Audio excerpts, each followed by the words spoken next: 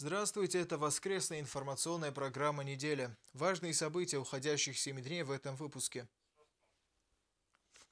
На этой неделе Великой Октябрьской социалистической революции исполнилось 100 лет, и мы попытались выяснить, как отразилась Великая Русская революция на судьбе Южной Осетии. Задача, надо сказать, непростая, и не факт, что у нас получилось. Но спустя сто лет уже не представляется возможным однобоко рассматривать это великое историческое событие. Казалось бы, настало время подвести некий итог. Что это все-таки было? Великая Октябрьская социалистическая революция, принесшая благо России. Именно так нас всех учили в школе, или же преступный переворот большевиков и впоследствии становление страны Советов, оказавшейся в некоторой степени ничуть не слаще прежнего витка истории. Октябрьская революция свершилась, и южные осетины остались в составе Грузии, которая не захотела входить в состав страны Советов. Грузинские помещики сильнее прежнего начали угнетать осетинских крестьян. Дабы подчинить осетин, традиционно преступное грузинское правительство посылало войска в осетинские села. Осетины на юге хотели объединиться с северянами. В борьбе за советскую власть они готовы были идти до конца. Коммунизм все-таки пришел в Грузию. В одном сюжете не представляется возможным углубиться в историю и рассмотреть рассмотреть поэтапно все последующие события, как позитивные, так и негативные. Но все-таки страницы истории сохранили горький привкус, омраченные репрессиями, учиненными по надуманным причинам против лучших представителей нации, притеснением всеми возможными способами осетинского народа. Конечно, не все так просто. Почему сейчас возникла необходимость выяснения того, каким же образом Октябрьская революция повлияла на судьбы осетинского народа? Как любое великое историческое событие, революция спустя век требует реальной трезвой оценки. В отношении Южной Осетии итоги Великой Русской революции не так однозначны и очевидно положительны, как хотелось бы верить. Но предугадывать исход событий вековой давности при другом раскладе, если бы революция не взяла верх и Россия обошлась бы без грандиозных перипетий, тоже дело не очень благодарное. Мы имеем свершившийся факт. Нужно сказать, что Октябрьская революция сделала намного больше, чем то, что случилось негативного этот период. Надо отметить, что любая революция, будь то французская, испанская, американская, итальянская, даже китайская, они всегда сопровождались ломкой старых э, порядков, старой системы, кровавыми жертвами. Революция часто пожирала своих детей. 1937 год это показал, когда большая часть нашей интеллигенции, как царской, потом же советской. Тем не менее, мы должны сказать, что, в общем, Великая Октябрьская социалистическая революция была положительным моментом. И для южных осетин, и осетин вообще, она открыла дорогу к образованию, к обретению э, своего политического статуса в рамках Южной Осетии, Юго-Осетинской автономной области, в Северной Осетии, Северо-Осетинской автономной республики. А что было бы в жанре альтернативной истории? Если бы все-таки революция не победила, и мы бы тогда развивались вот таким порядком, как это было в Российской империи. Очень трудно это сказать. Э, ну, на сегодня мы вот имеем то, что имеем, как говорят в таких случаях. То есть э, итоговый такой вывод, можно сказать, резюмирующий, э, можно сделать такой, что, конечно, мы очень много потеряли, в ходе этой российской революции. По ее итогам мы немало и приобрели. И поэтому 100 лет все-таки маловато. Вот в этом я тоже согласен с теми учеными, которые считают, что еще должно пройти время. Еще должно 2-3 поколения вырасти новых, которые бы были как-то психологически, эмоционально, да просто даже вот по фамильной своей родословии свободны от вот э, того накала, который значит, породило революционное движение. Это приблизительно так же вот и с французской революцией. Только сейчас, спустя уже более 200 лет, значит, э, начались относительно трезвые оценки этого события. Вот я считаю, что нам тоже нужно провести очень глубокие научные, в первую очередь именно научные исследования, для того, чтобы постараться правильно, непредвзято, не идеологизированно, свободно от вот этих пристрастий ответить на этот вопрос. Что же это было для нас Великая Российская революция?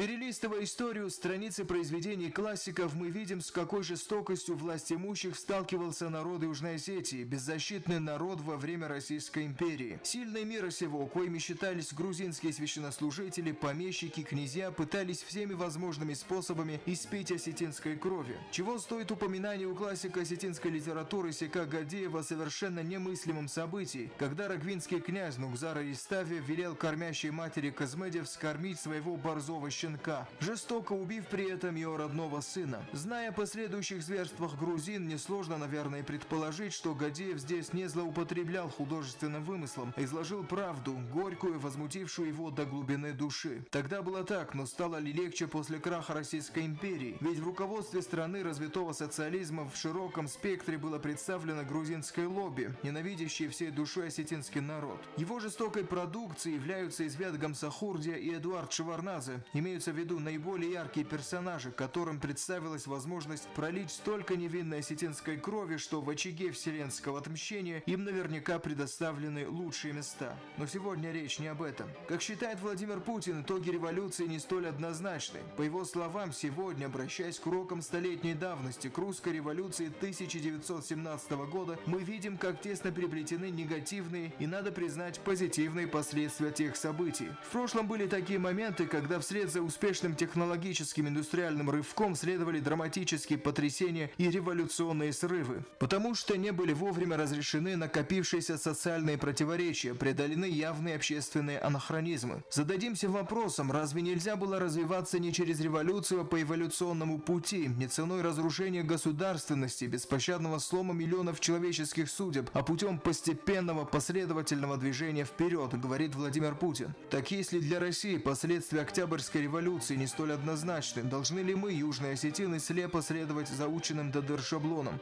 Должна произойти смена еще хотя бы трех поколений, чтобы мы смогли адекватно, непредвзято оценить итог революции в судьбе осетинского народа, считает политолог Устат Зугаев. Ведь и негативные последствия тех событий, точно так же, как и позитивные, сильно отразились на судьбах осетинского народа. И нам еще предстоит долгое выяснение того, чего же с нами случилось больше, хорошего или плохого. И в отношении Южной Осетии, можно сказать, революция оказала двоякое, двоякие последствия. С одной стороны, была свергнута власть олигархии, знатных людей, э, помещиков, князей, царской администрации. Э, осталось не удел интеллигенция того периода, царское офицерство, которое было, представляло большой слой интеллигенции. А также представители интеллигенции, выходцы из знатных родов, в том числе, например, Махарбек Туганов, насколько вы знаете, он тоже был выходцем из знатной фамилии. А в 1937-1938 годах вот большая часть этой старой царской интеллигенции была уничтожена. Был разрушен прежний уклад э, социалистический строй, который стал последствием Октябрьской революции, фактически нивелировал многие национальные моменты э, в жизни нашего народа. И это то, что было отрицательно. Но как каждое событие, оно имеет две стороны. Светлую, темную. С другой стороны, социализм, который стал э, основой нового строя, он привел к возникновению новой интеллигенции которая вышла уже из недр простого народа. Благодаря новым свершениям э, доступ к образованию получили выходцы из сельской глубинки. Неспроста появилась такая поговорка, что гении рождаются в деревне, а умирают в городе. Все наши известные люди, которые достигли возраста, например, э, юношеского возраста и уже могли поступать в высшие учебные заведения и стали известными людьми впоследствии, все были выходцы из простых людей. В частности, и Кабараев Суслам, первый профессор, э, Кабараев Николай Ясунович, Чиберов Людвиг Алексеевич и масса-масса других имен. Это только по Южной Осетии. Не меньше было их и в Северной Осетии. Это то, что было положительно. Из положительного также мы должны отметить, что именно благодаря революции, которая привела к глубинным изменениям в социальных отношениях, Южная Осетия получила статус автономной области. До этого Южная Осетия была представлена осетинским участком Горийской губернии, э, вернее, Горийского уезда Тифлисской губернии. Понятно, что никакого статуса официального у нас не было. И только благодаря вот социалистическим свершениям Южные Осетины получили статус и автономии, и территориальную единицу, которая имела четко очерченные границы. И мы знаем, что на основе вот этой автономной области мы сегодня имеем границы Республики Южная Осетия. Что надо в первую очередь сказать? Конечно, это была прежде всего революция русского народа. Вот эти десятки миллионов крестьян, одетых в военную форму, вооруженных и прошедших через Первую мировую войну, вот они ее, собственно говоря, народной своей массой и совершили. В руководстве было, конечно, немало людей и не русских тоже. И народы, э, другие народы Российской империи тоже, конечно, приняли в этой революции э, большое, я бы даже сказал, максимальное участие. Это касается и нас, осетин тоже. Вот теперь вопрос о том, насколько это колоссальное событие повлияло на судьбу осетинского народа. Конечно, повлияло очень сильно, я бы сказал, судьбоносно. В первую очередь заключается это в том, что мы и на севере, и на юге Осетии оказались вовлеченными в очень тяжелые и кровопролитные вооруженные столкновения. Для нас здесь на юге, как известно, это стало столкновение с грузинским государством, которое, по сути дела, впервые тогда и образовалось. В этом отношении, конечно, грузины получили от э, российской революции гораздо больше, чем мы, осетины. И не случайно у нас в шутке, так вот полушутя, полусерьезно говорили, что «Аврора Удунан Фехсто». Действительно, грузины приобрели в ходе вот этой значит, социального, социальной пертурбации, приобрели очень много, это собственное государство в первую очередь, это очень большие преференции, которые они всегда получали от московского центра – Почему? Да потому что грузинское представительство в высших органах коммунистической власти было очень большое. Начиная с самого Иосифа Виссарионовича. Сталина, более известного под этим псевдонимом, да, но мы-то знаем, что Джугашвили он был. А, что касается нас, осетин, то нам пришлось выдержать несколько вооруженных столкновений с э, государством, которое пыталось здесь установить свою власть. Это было и в 18 году, это было и в 19 году, то есть подряд восстания. И, наконец, это было кровопролитнейшее столкновение 1920 года, которое осталось в народной памяти просто как геноцид. Тогда еще такого слова не было, оно появилось только в ходе Второй мировой войны. Но сегодня мы его вполне юридически точно и обусловленно можем квалифицировать как геноцид нашего народа. По разным оценкам, только прямых погибших, вот, прямых жертв этого столкновения было от 5 до 15 тысяч. И очень возможно, что дальнейшие исследования еще покажут истинные размеры этой трагедии плюс десятки тысяч погибших во время бегства на север от голода, от э, эпидемических болезней, от участия в боевых действиях там, на Северном Кавказе. В этом отношении, конечно, мы э, очень многое потеряли от вот этих революционных событий. Но если взять э, более такие последующие последствия да, этой э, революции, то надо признать и то, что все-таки Южная Осетия получила статус автономной области, хотя первоначально он был республиканский статус. Но вот именно грузинским э, политикам в составе московского руководства – как сейчас принято говорить, лобби, политическое лобби, им удалось понизить статус Южной Осетии от республики до автономной области. Тем не менее, в составе даже вот в этом э, статусе нам удалось э, на протяжении значит, советской власти добиться довольно больших социально-экономических успехов.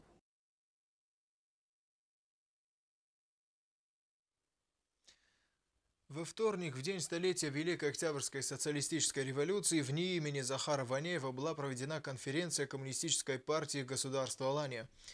Делегаты обсудили причины и итоги революции, отразившиеся в том числе и на судьбах южных осетин.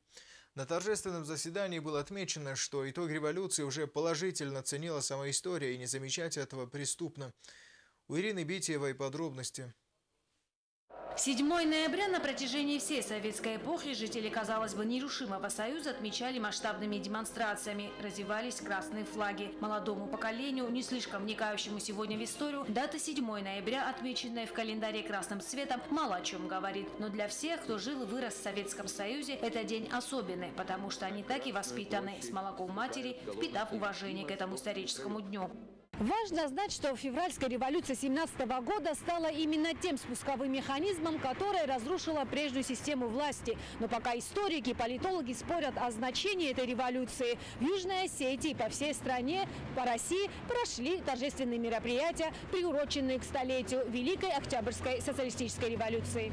Для коммунистов юбилей Октябрьской революции – это главное событие года. Первый секретарь регионального отделения коммунистической партии удивляется, что многие молодые члены партии, только недавно вступившие в ряды коммунистов, лучше осведомлены об исторических событиях, и это их осознанное решение идти по стезе коммунизма. Ностальгия – это однозначно, ностальгия. Но у нас очень много молодежи тоже. Они сами к нам приходят, вступают в партию.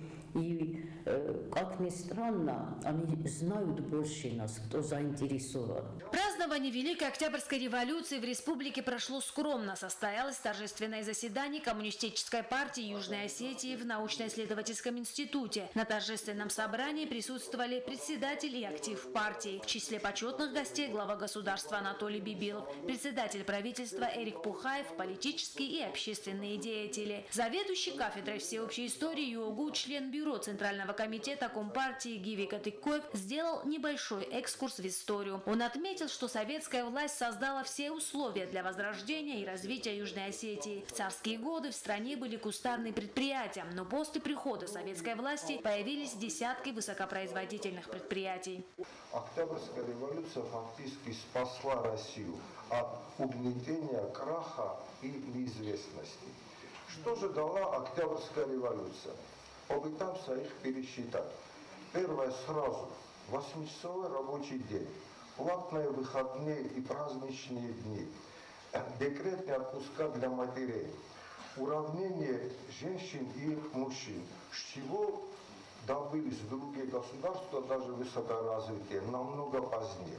Президент отметил в своем выступлении, что многие сегодня пытаются переписать историю, но несмотря на старания злопыхателей, 7 ноября – это великая, значимая дата в истории, и так оно будет всегда. Все, кто жили во время Советского Союза, любят свою родину и остаются ей верными, несмотря ни на что.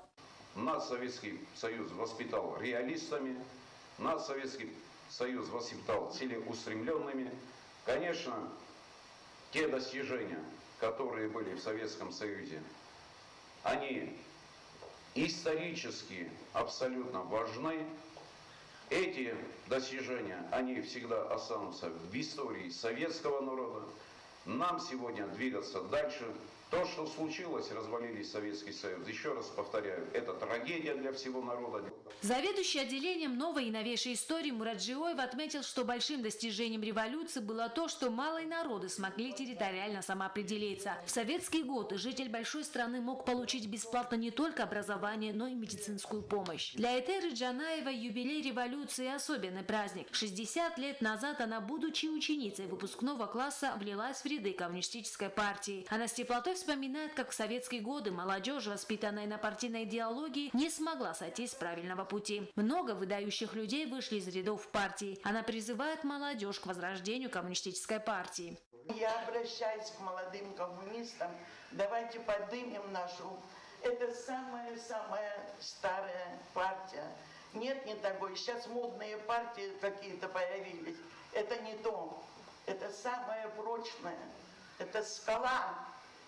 В завершении торжественного заседания приятной неожиданностью для собравшихся стал выход юных пионеров, воспитанников пятой школы. Именно эта школа сохранила и пронесла сквозь время все, что связано с пионерской организацией. Ирина Бити, Вальдина Чехоева, программа «Неделя».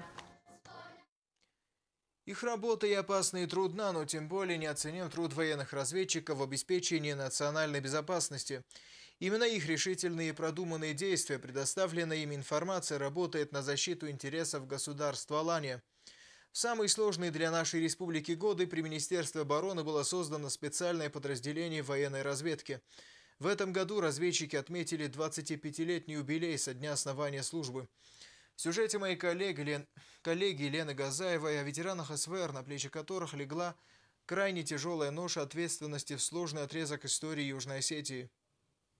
Свой профессиональный праздник ежегодно 5 ноября отмечают разведчики. Первое разведывательное подразделение в Южной Осетии появилось в 1992 году. Решающая роль в создании войсковой разведки вооруженных сил Южной Осетии принадлежит легендарному Алану Джуоеву. Под его личным контролем создавалась разведывательная рота миротворческого батальона. В ее состав вошли наиболее подготовленные воины, отлично владеющие всеми видами оружия, обладающие высокой физической выносливостью, властью. Но самое главное, воины-разведчики были сильны войсковым братством и несгибаемой силой духа. В свой профессиональный праздник ветераны военной разведки Южной Осетии вспомнили своих боевых товарищей, которых уже нет, и те годы, которые бок о бок служили во благо Родины.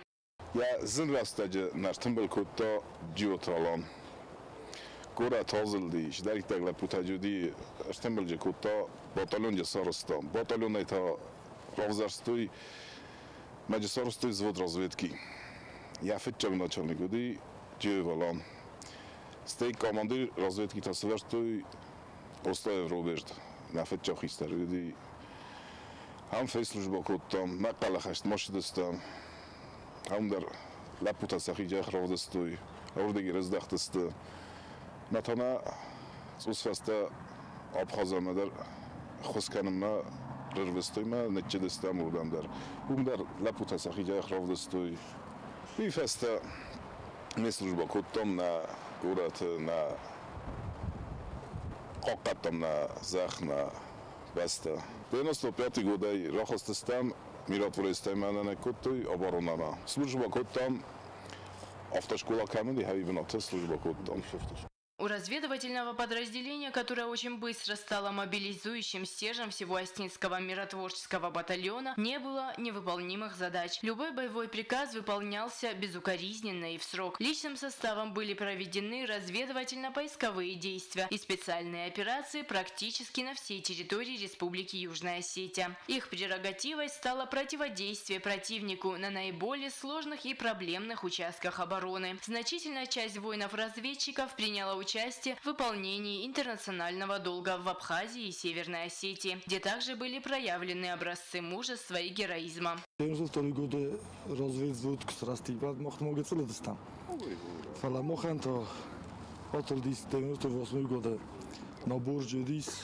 молодой пополнение. Ба, мох шофер шудам бохоттам. И футбола слак буям. Ба мох урдиги Уша я дарим, я служба канам разведка имат 98 года. Ма мохразачи служба гутота 92 года и ройдауга.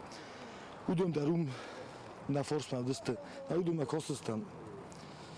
Ма тырныттам шама удуны оружинод, ма удуны лайжинод. Мохтар роз махассам, ма бема моканам. Мохтар примеристам удум мана обхозу кодысты.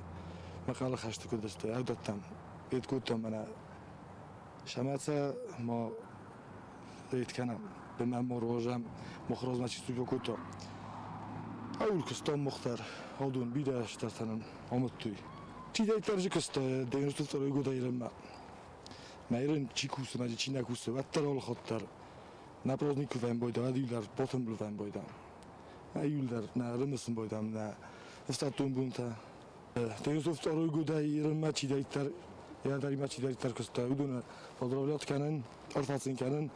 Мавол озасы жахашим балуй ма, жахаши балуй сапрозникел, сапрофессионал барак бунат.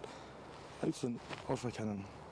В настоящее время в разведывательных органах республики планово проводятся все мероприятия. Личный состав успешно осваивает армейскую профессию и повышает профессиональный уровень. Вносит свой вклад в обеспечение внешней безопасности Южной Осетии. Войсковая разведка устремлена в будущее. Постоянно происходит совершенствование методов и способов разведывательной деятельности.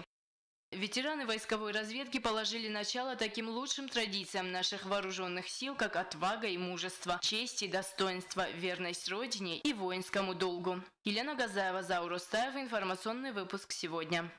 Пятый открытый турнир по художественной гимнастике в Нальчике принес воспитанницам спортивного центра «Олимп» 6 медалей. По словам их тренера, это очень хороший, во многом предсказуемый результат – Юные спортсменки ответственно подходят к выбранной нелегкой профессии. Несмотря на изнурительные тренировки, они не испытывают никакой усталости, стараясь принять участие во всех соревнованиях. Ведь они знают, за ними спортивная честь Южной Осетии. Репортаж Ирины Битьевой.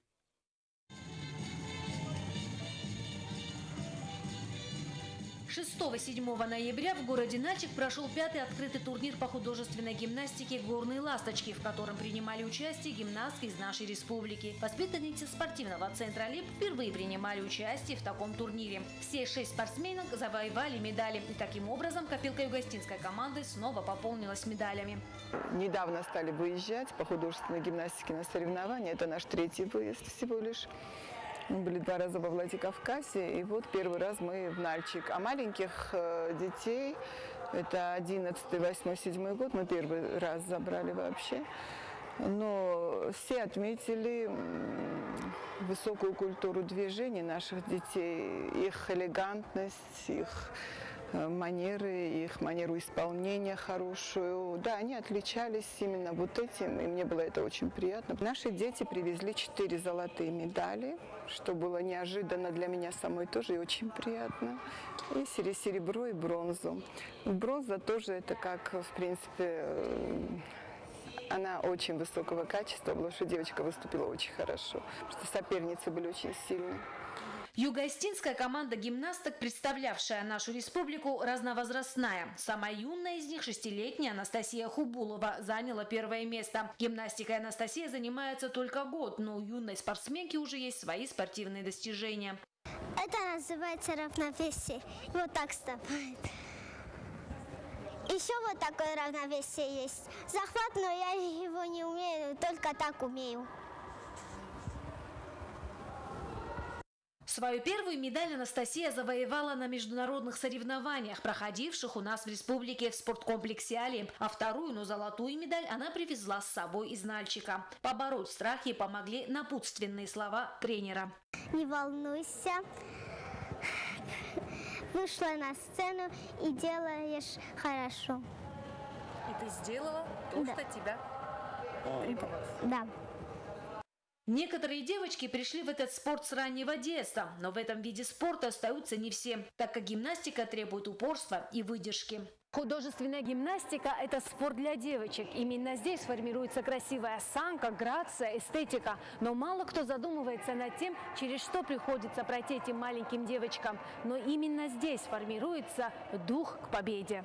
Самое главное требование, которое предъявляют тренеры к своим воспитанникам, это трудолюбие и выносливость. Но то, что дети показывают хорошие результаты, несмотря на боль и усталость во время тренировок, это во многом заслуга самих спортсменок. От ребенка зависит. Если упражнение подготовить хорошо и, и делать все хорошо, наверное, и если тренер тоже какие-то напутственные, или как сказать, эти поставит и уверенность будет э, в тренере, значит, наверное, в ребенке тоже будет э, уверенность. Валерия Гульдаева, Вероника Цахилова, Анастасия Шавлухова – победительницы турнира. У них есть опыт выступления за пределами республики. После победы девочки стали увереннее. Соревнования позволили юным спортсменкам еще больше поверить в свои силы и стать намного увереннее. Нас подбодрили, сказали, чтобы не волновались. Это всего лишь один раз надо выступить и все. Нам понравилось. Тренировки по гимнастике ежедневные. С каждым выступлением уровень подготовки спортсменок растет. Их все чаще приглашают на соревнования и турниры. Гимнасткам предстоит выступать в середине этого месяца в Санкт-Петербурге на соревнованиях по художественной гимнастике. Как говорят тренеры, все, что нужно для победы, это упорство и настрой, а этого им не занимать. Ирина Битева, Алим Бетеев, программа «Неделя». Смотрели воскресную информационную программу «Неделя». Желаю вам только хороших новостей и, что самое главное, всего самого доброго.